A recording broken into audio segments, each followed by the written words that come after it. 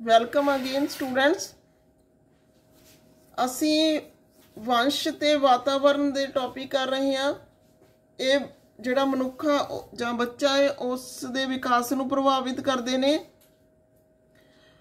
ਤੇ ਇਹ ਟੌਪਿਕ ਨੇ ਜਿਹੜੇ ਛੋਟੇ ਛੋਟੇ ਢੰਗ ਛੋਟੇ ਛੋਟੀਆਂ ਵੀਡੀਓ ਦੇ ਵਿੱਚ ਅਸੀਂ ਕਰ ਰਹੇ ਹਾਂ ਡਿਵੈਲਪ ਇਸ ਟੌਪਿਕ ਨੂੰ। ਤਾਂ ਇੱਕ ਇੱਕ ਟੌਪਿਕ ਆ ਜਿਹੜਾ ਬੜੇ ਧਿਆਨ ਨਾਲ ਤੁਸੀਂ ਸੁਣ ਸਕਦੇ ਹੋ, ਕਰ ਸਕਦੇ ਹੋ। ਕਿਉਂਕਿ ਐਮਸੀਕਿਊ ਆਉਣੇ ਨੇ ਇਸ ਪੇਪਰ ਦੇ ਵਿੱਚ, ਜਾਂ ਸਾਰੇ ਹੀ ਜਿਹੜਾ ਟੈਸਟ ਆ ਤੁਹਾਡਾ ਉਹ ਐਮਸੀਕਿਊ ਹੀ ਆਉਣਗੇ। ਉਹਦੇ ਵਿੱਚ ਤਾਂ ਤੁਹਾਨੂੰ ਕਨਸੈਪਟ ਨੇ ਜਿਹੜੇ ਕਲੀਅਰ ਹੋਣੇ ਚਾਹੀਦੇ ਨੇ। ਤਾਂ ਕਿ ਤੁਸੀਂ ਐਮਸੀਕਿਊ ਨੇ ਜਿਹੜੇ ਉਹ ਸ- ਵਧੀਆ ਢੰਗ ਨਾਲ ਅਟੈਂਪਟ ਕਰ ਸਕੋ। ਅੱਜ ਅਸੀਂ ਵੀਡੀਓ ਦੇ ਵਿੱਚ ਕਰਾਂਗੇ ਵਿਕਾਸ ਵਿੱਚ ਵਾਤਾਵਰਣ ਦੇ ਪ੍ਰਭਾਵ। ਵਾਤਾਵਰਣ ਕੀ ਪ੍ਰਭਾਵ ਪਾਉਂਦਾ ਹੈ ਨੰਬਰ 1 ਮਾਨਸਿਕ ਵਿਕਾਸ ਤੇ ਪ੍ਰਭਾਵ ਪਾਉਂਦਾ ਹੈ ਵਾਤਾਵਰਣ ਜੇ ਅਸੀਂ ਇੱਥੇ ਉਦਾਹਰਨ ਲਈਏ ਕਿ ਜੇ ਜੁੜਵੇਂ ਬੱਚੇ ਨੇ, ਜੇ ਅਸੀਂ ਇਹ ਪ੍ਰਭਾਵ ਦੇਖਣਾ ਹੈ ਤਾਂ ਸਰਵੇਖਣ ਦੇ ਆਧਾਰ ਤੇ ਮੰਨਿਆ ਗਿਆ ਕਿ ਜੁੜਵੇਂ ਬੱਚਿਆਂ ਦੇ ਉੱਤੇ ਜੇ ਅਸੀਂ ਐਕਸਪੈਰੀਮੈਂਟ ਕੀਤਾ ਹੈ ਵਾਤਾਵਰਣ ਦੇ ਵਖਰੇਵੇਂ ਰੱਖੇ ਨੇ ਉਹਨਾਂ ਦੇ ਵਿੱਚ, ਤਾਂ ਦੋਨਾਂ ਦੇ ਮਾਨਸਿਕ ਪੱਧਰ ਨੇ ਜਿਹੜੇ ਉਹ ਵੱਖ-ਵੱਖ ਬਣ ਜਾਣਗੇ।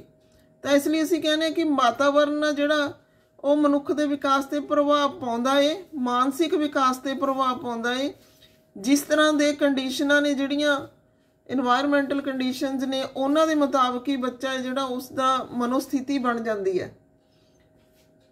ਫਿਰ ਹੈਗਾ ਇਹਦੇ ਵਿੱਚ ਦੇਖੋ, ਮਾਨਸਿਕ ਵਿਕਾਸ ਦੇ ਵਿੱਚ ਸਾਡੇ ਜਿਹੜੇ ਵਾਤਾਵਰਣ ਦੇ ਕਾਰਕ ਨੇ, ਉਹ ਕੋਈ ਵੀ ਕਾਰਕ ਕੰਮ ਕਰ ਸਕਦੇ, ਜਿਵੇਂ ਅਸੀਂ ਪਿਛਲੀ ਵੀਡੀਓ ਦੇ ਵਿੱਚ ਕੀਤੇ ਨੇ ਆਰਥਿਕ ਕਾਰਕ ਵੀ ਮਾਨਸਿਕ ਵਿਕਾਸ ਤੇ ਪ੍ਰਭਾਵ ਪਾ ਸਕਦੇ ਨੇ ਤੇ ਸਮਾਜਿਕ ਕਾਰਕ ਵੀ ਪਾ ਸਕਦੇ ਨੇ। ਤੇ ਪ੍ਰਕਿਰਤਿਕ ਪਾ- ਕਾਰਕ ਨੇ ਜਿਹੜੇ ਉਹ ਵੀ ਪਾ ਸਕਦੇ ਨੇ। ਫਿਰ ਅੱਗੇ ਹੈਗਾ ਵਿਅਕਤੀਗਤ ਪ੍ਰਭਾਵ।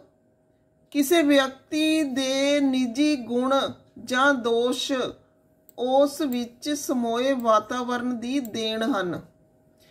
ਇਹ ਸ਼ਖਸੀਅਤ ਦੇ ਨਿਰਮਾਣ ਵਿੱਚ ਮਨੁੱਖ ਵਿਸ਼ੇਸ਼ ਵਾਤਾਵਰਣ ਤੇ ਨਿਰ- ਨਿਰਭਰ ਕਰਦਾ ਹੈ ਤਾਂ ਸ਼ਖਸੀਅਤ ਸਾਡੀ ਵਿਸ਼ੇਸ਼ ਵਾਤਾਵਰਣ ਤੇ ਹੀ ਨਿਰਭਰ ਕਰਦੀ ਹੈ ਕਿਸ ਤਰ੍ਹਾਂ ਦੇ এনवायरमेंट ਵਿੱਚੋਂ ਅਸੀਂ ਆਏ ਆ ਅਸੀਂ ਆਮ ਤੌਰ ਤੇ ਕਹਿ ਦਿੰਨੇ ਆ ਕਿ ਕਿਸ ਤਰ੍ਹਾਂ ਦਾ ਜਿਹੜਾ ਸਾਨੂੰ, ਸਾਡਾ ਜਿਹੜਾ ਪਾਲਣ ਪੋਸ਼ਣ ਹੋਇਆ ਹੈ, ਕਿਸ ਤਰ੍ਹਾਂ ਦਾ ਵਿਅਕਤੀਤਵ ਅਸੀਂ ਹਾਸਲ ਕੀਤਾ ਹੈ, ਕਿਸ ਤਰ੍ਹਾਂ ਦੇ এনवायरमेंट ਵਿੱਚੋਂ ਅਸੀਂ ਆਏ ਆ ਤਾਂ ਇੱਥੇ এনवायरमेंट ਜਿਹੜਾ ਉਹ ਕੋਈ ਵੀ ਹੋ ਸਕਦਾ ਹੈ, ਭੌਤਿਕ ਵੀ ਹੋ ਸਕਦਾ ਹੈ, ਪ੍ਰਕਿਰਤਿਕ ਵੀ ਹੋ ਸਕਦਾ, ਸਮਾਜਿਕ ਵੀ ਹੋ ਸਕਦਾ ਹੈ। ਵਿਅਕਤੀ ਦੇ ਉੱਤੇ ਪ੍ਰਭਾਵ ਕੀ ਪਿਆ ਹੈ, ਕਿਸ ਤਰ੍ਹਾਂ ਦੀ ਉਹਦੀ ਪਰਸਨੈਲਿਟੀ ਬਣੀ ਹੈ, ਇੱਥੇ ਇਹ ਗੱਲ ਆਉਂਦੀ ਹੈ ਫਿਰ ਅੱਗੇ ਹੈਗਾ ਭਾਵਾਤਮਕ ਵਿਕਾਸ ਤੇ ਪ੍ਰਭਾਵ। ਵਾਤਾਵਰਨ ਆ ਜਿਹੜਾ, ਉਸ ਦਾ ਭਾਵਾਤਮਕ ਵਿਕਾਸ ਤੇ ਪ੍ਰਭਾਵ ਪੈਂਦਾ ਹੈ ਜਿਨ੍ਹਾਂ ਬੱਚਿਆਂ ਦੇ ਮਾਤਾ-ਪਿਤਾ ਭੈਣ ਭਰਾ ਜਾਂ ਹੋਰ ਮੈਂਬਰ ਸੰਵੇਦਨਸ਼ੀਲ ਹੁੰਦੇ ਨੇ, ਉਹ ਬੱਚੇ ਵੀ ਸੰਵੇਦਨਸ਼ੀਲ ਹੁੰਦੇ ਨੇ। ਸਾਡੇ ਜਜ਼ਬੇ, ਪ੍ਰੇਮ, ਨਫ਼ਰਤ, ਗੁੱਸਾ ਆਦਿ ਦੇ ਵਿਕਾਸ ਵਿੱਚ ਪਰਿਵਾਰਕ, ਸਮਾਜਿਕ ਵਾਤਾਵਰਣ ਦਾ ਅਹਿਮ ਰੋਲ ਹੁੰਦਾ ਹੈ ਤਾਂ ਸਾਡੀਆਂ ਭਾਵਨਾਵਾਂ ਨੇ, ਜਿਹੜੀਆਂ ਉਹ ਵਾਤਾਵਰਣ ਦੀ ਦੇਣ ਹੁੰਦੀਆਂ ਨੇ, ਜਿਸ ਤਰ੍ਹਾਂ ਦਾ ਵਾਤਾਵਰਣ ਸਾਨੂੰ ਮਿਲਦਾ ਹੈ ਉਸ ਤਰ੍ਹਾਂ ਦਾ ਸਾਡਾ ਭਾਵਨਾਤਮਕ ਵਿਕਾਸ ਆ ਜਿਹੜਾ ਉਹ ਹੁੰਦਾ ਹੈ ਫਿਰ ਹੈਗਾ ਸਮਾਜਿਕ ਵਿਕਾਸ ਤੇ ਪ੍ਰਭਾਵ। ਜਿਹੜਾ ਵਾਤਾਵਰਣ ਆ ਉਹ ਸਮਾਜਿਕ ਵਿਕਾਸ ਨੂੰ ਬਹੁਤ ਜ਼ਿਆਦਾ ਪ੍ਰਭਾਵਿਤ ਕਰਦਾ ਏ। ਕਿਸ ਤਰ੍ਹਾਂ ਦਾ ਸਮਾਜ ਦੇ ਵਿੱਚ ਵਾਤਾਵਰਣ ਆ, ਉਸੇ ਤਰ੍ਹਾਂ ਹੀ ਸਮਾਜਿਕ ਵਿਕਾਸ, ਸੋਸ਼ਲਾਈਜੇਸ਼ਨ ਬੱਚੇ ਦੀ ਹੁੰਦੀ ਆ। ਸਮੂਹਿਕਤਾ ਦੀ ਇੱਕ ਮੂਲ ਵਿਰਤੀ ਆ ਜਿਹੜੀ ਬੱਚੇ ਵਿੱਚ ਹੁੰਦੀ ਆ, ਉਹ ਗਰੁੱਪ ਵਿੱਚ ਰਹਿਣਾ ਚਾਹੁੰਦਾ ਏ, ਗਰੁੱਪ ਵਿੱਚ ਰਹਿਣਾ ਸਿੱਖਿਆ ਹੋਇਆ ਹੁੰਦਾ ਉਸਨੇ। ਇਹ ਜਿਹੜੀ ਆ, ਇਹਦੇ ਨਾਲ ਹੀ ਉਹ ਸਿੱਖਣ ਦੀਆਂ ਸ਼ਕਤੀਆਂ ਪ੍ਰਾਪਤ ਕਰਦਾ ਇੱਕ ਦੂਜੇ ਤੋਂ ਲਰਨਿੰਗ ਜਿਹੜੀ ਆ ਉਹ ਹੁੰਦੀ ਆ। ਉਹ ਉਹੀ ਭਾਸ਼ਾ ਸਿੱਖਦਾ ਸਮਾਜ ਵਿੱਚ ਬੋਲੀ ਜਾਂਦੀ ਆ। ਉਹੀ ਵਿਵਹਾਰ ਸਿੱਖਦਾ ਜੋ ਸਮਾਜ ਵਿੱਚ ਕੀਤਾ ਜਾਂਦਾ ਏ। ਉਸੇ ਤਰ੍ਹਾਂ ਦੇ ਸਮੂਹ ਰੂਪੀ ਸਮਾਜ ਵਿੱਚ ਰਹਿੰਦਾ ਏ, ਉੱਥੇ ਰਹਿ ਕੇ ਜਿਹੋ ਜਿਹੇ ਪ੍ਰਭਾਵ ਧਾਰਨ ਕਰੇਗਾ, ਉਹ ਸਮਾਜਿਕ ਜਿਹੜਾ ਵਾਤਾਵਰਣ ਹੈ ਉਸ ਦੇ ਕੰਡੀ, ਉਸ ਦੀਆਂ ਕੰਡੀਸ਼ਨ ਮੁਤਾਬਕ ਹੀ ਹੋਏਗਾ। ਤਾਂ ਸਮਾਜਿਕ ਵਿਕਾਸ ਦੇ ਉੱਤੇ ਵਾਤਾਵਰਣ ਦਾ ਬਹੁਤ ਜ਼ਿਆਦਾ ਪ੍ਰਭਾਵ ਪੈਂਦਾ ਹੈ ਤਾਂ ਸਾਡਾ ਸਮਾਜਿਕ ਵਿਕਾਸ ਸਿੱਖਿਆ ਨੇ ਬੱਚੇ ਦਾ ਸਮਾਜਿਕ ਵਿਕਾਸ ਕਰਨਾ ਹੈ ਸਿੱਖਿਆ ਰਾਹੀਂ ਕਰਨਾ ਹੈ ਜਾਂ ਸੁਸਾਇਟੀ ਰਾਹੀਂ ਕਰਨਾ ਹੈ ਜਿਵੇਂ ਵੀ ਕਰਨਾ ਹੈ ਤਾਂ ਕਿਉਂਕਿ ਸਿੱਖਿਆ ਹੈ ਜਿਹੜੀ ਉਹ ਵੀ ਸੁਸਾਇਟੀ ਦਾ ਹੀ ਇੱਕ ਰੂਪ ਆ।